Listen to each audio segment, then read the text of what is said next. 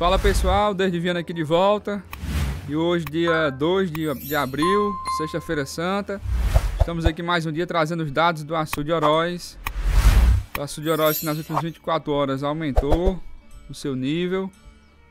Hoje o açude Oroz está na cota 189,43 centímetros. Na régua 189 no centímetro 43.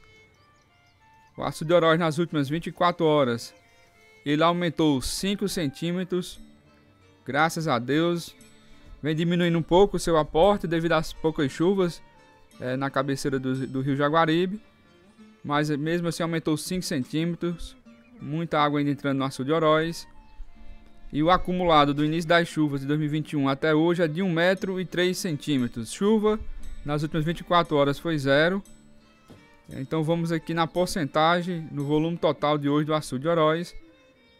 Hoje o açude Oroz está com 23,02%, com 446 milhões de metros cúbicos.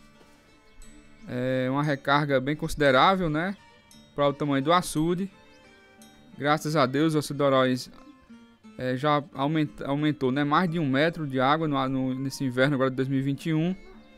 Ele que libera as águas para o Rio Jaguaribe, que é 700 litros por segundo aí pela essa válvula espessora.